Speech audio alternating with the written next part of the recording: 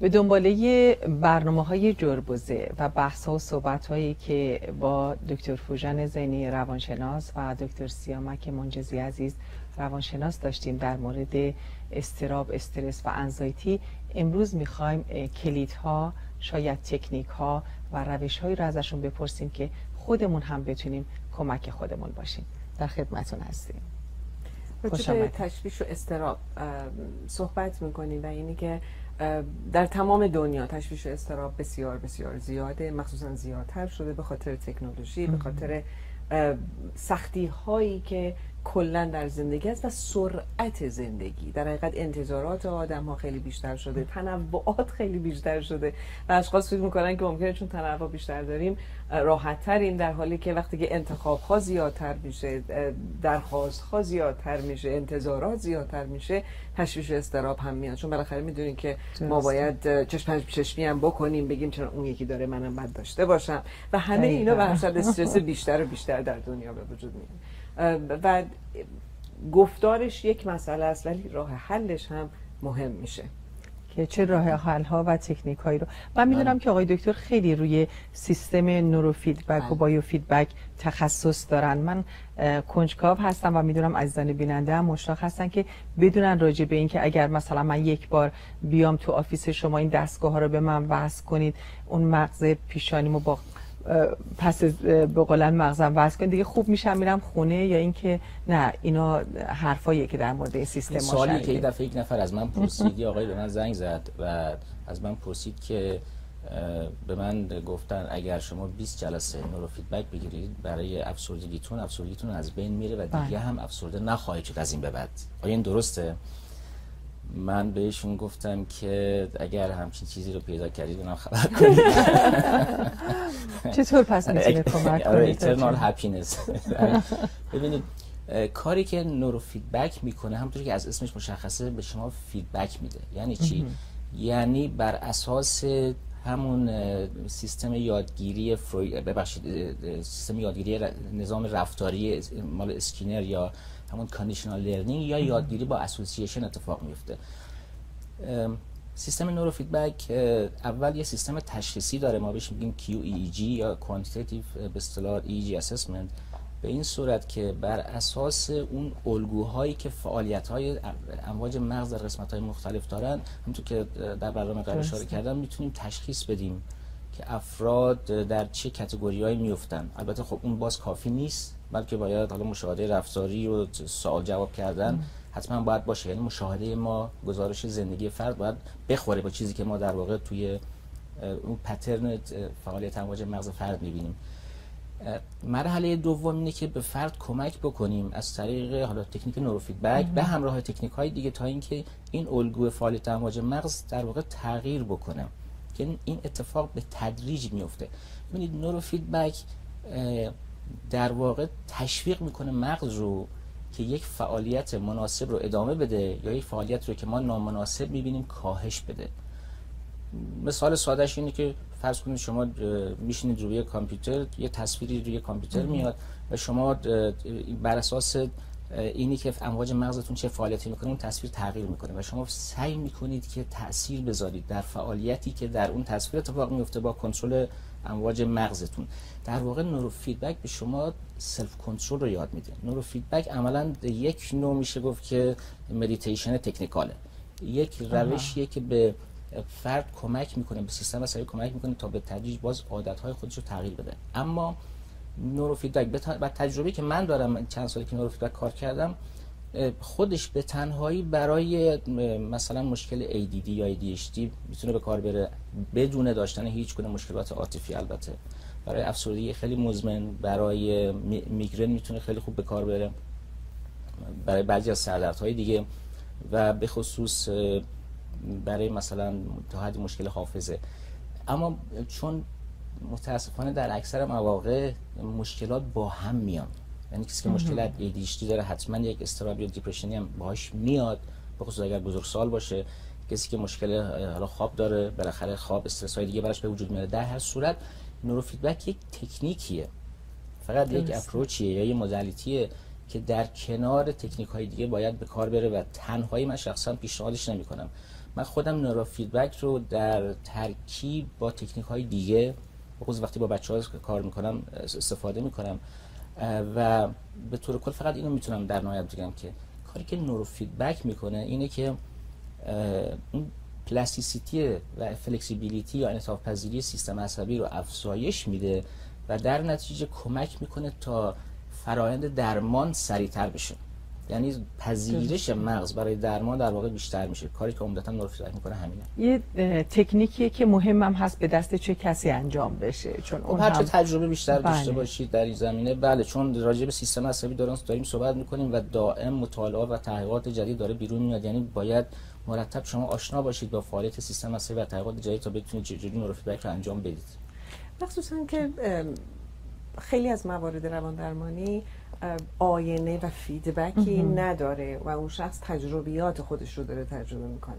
در حالی که سیستمی مثل نورو فیدبک یا biofeedback چون اون شخص داره می‌بینه آینه خودش رو واقعا داره می‌بینه. حالا نورو فیدبک توی امواج مغز biofeedback توی موارد مثل ضربان قلب طریق نفس کشیدن و دمای اون شخص وقتی که متوجه میشه بعد می‌فهمه که چجوری باید خودش خودش رو آروم بکنه و یا اینی که توجهش رو بیشتر بکنه. من یادمه که موقعی که داشتم بایو فیدبک رو من داشتم یاد می‌گرفتم تو ذهن خودم من فکر می‌کردم که اگر استراب پیدا کردم استرس پیدا کردم اگر بگم آروم شو هی نفس عمیق بکشم و آرامش به هی بگم به خودم آروم شو برای من کار می‌کنه.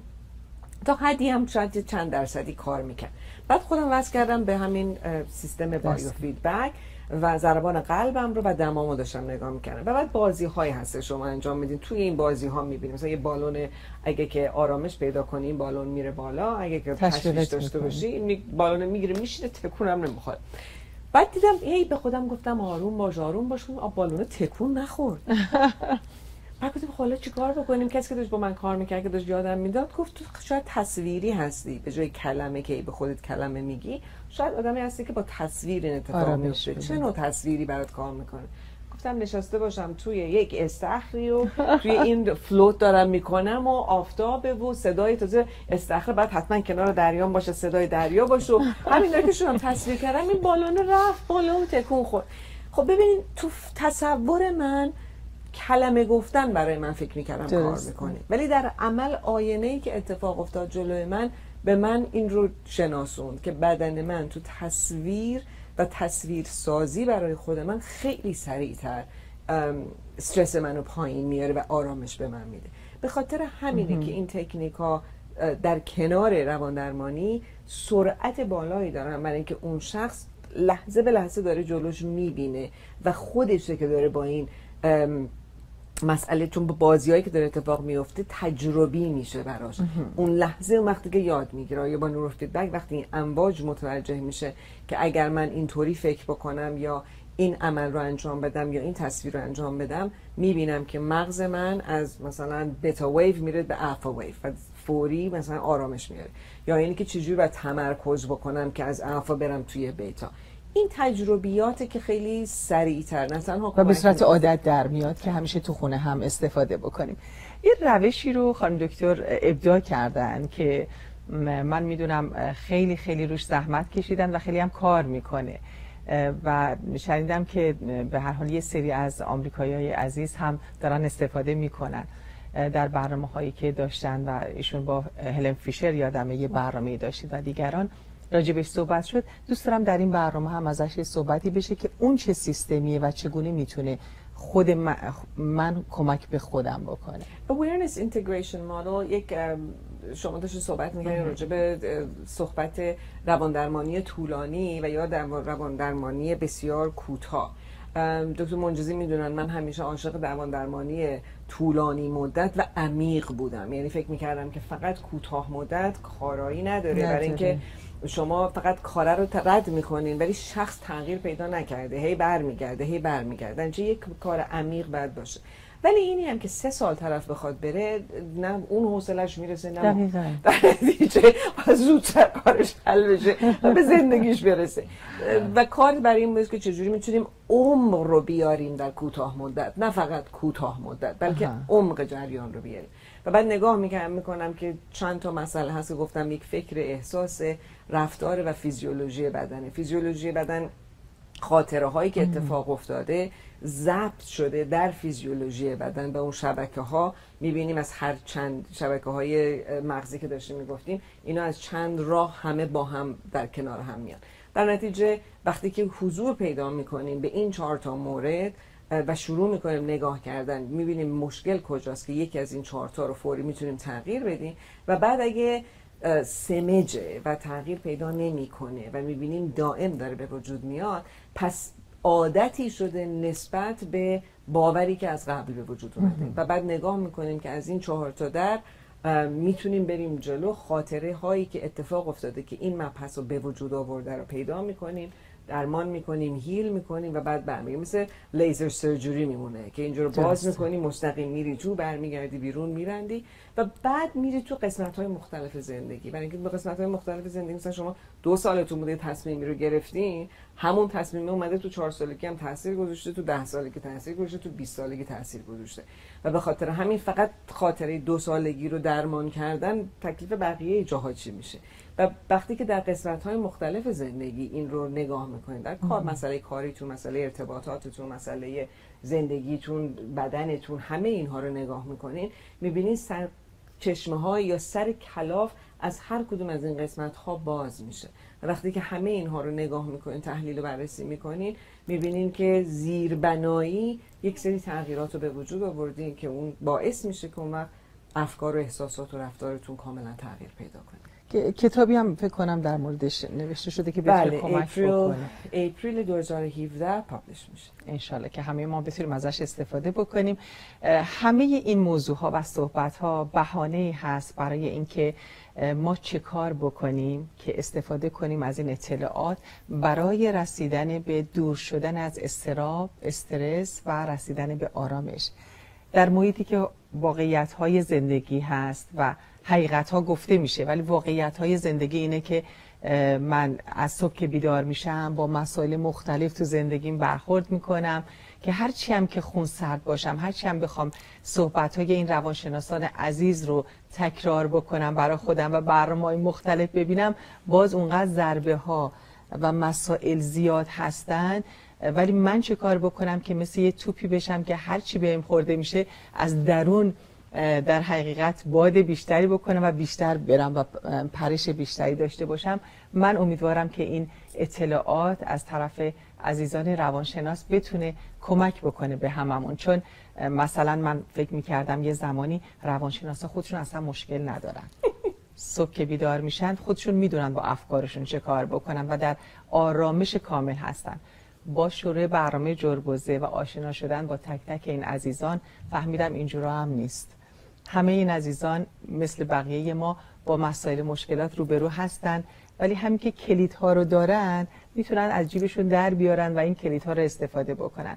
برنامه جربزه‌م امیدواریم که این کلیدها رو به دست من و شما بده. که بتونیم یک زندگی آرومتری داشته باشیم. چون همیشه من میگم ما یه life داریم یه زندگی داریم یه بار به دنیا میایم و دانستن این اطلاعات کمکمون می‌کنه که لذت بیشتری رو از این دنیا ببریم و ببینیم که از حسهای خودمون چگونه استفاده بکنیم برای رسیدن به آرامش. اگر در انتها یک خلاصه ای دارید از صحبت هایی که فرمودید و برای عزیزان بیننده خوشحال می‌کنم من خیلی کوتاه اشاره بکنم به نکته که شما شما فرمودید اینه که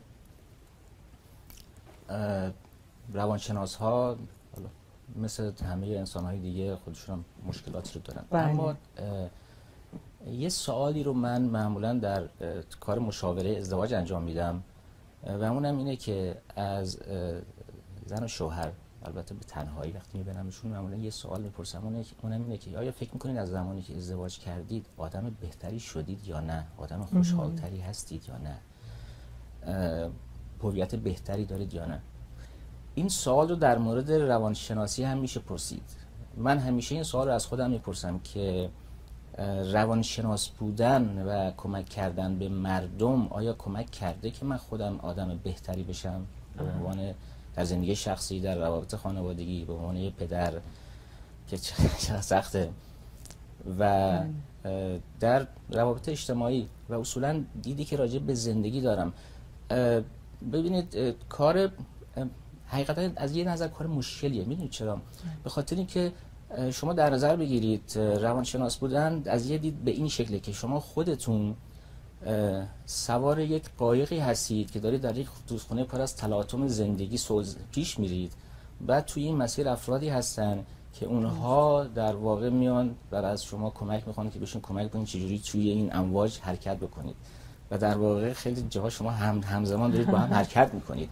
چرا؟ به خاطر اینکه خیلی وقتها کمک کردن به دیگران به خود من کمک کرده تا خودم رو بهتر بکنم. یه موردی که می‌خوام بهتون اشاره بکنم مثلا مسئله خشم در آقایونم. من با آقایون از فرنگ های مختلف کار درمان انجام دادم و یه چیز مشترک رو دیدم. نمی‌خوام بگم اینجا دارم آمار میدم تجربه شخصی رو میگم. بله. به خصوص آقایون ایرانی که ما زیاد عصبانی میشیم از خشم خیلی استفاده می‌کنیم. در برخورد با دیگران به خصوص برخورد خانوادگی به خصوص با بچه هامون و کمک کردن به افراد به آقایون برای اینکه بتونم با این مشکل برخورد بکنم به خود من خیلی کمک کرد تا بتونم با این مشکل خودم به هر حال من هم جزء یعنی خشمگین بودین شما مسئله خشم. بله می‌دونید به من زمانی که از ایران اومدم و اومدم آمریکا این مسئله رو خیلی داشتم. به هر حال فشارهای زندگی و استرس و مسائل مختلف و وارد جزئیات نمی‌خوایم بشیم. من وقتی که وارد آمریکا شدم آدم عصبانی بودم. الان چی؟ و الان خیلی آرامش دارم.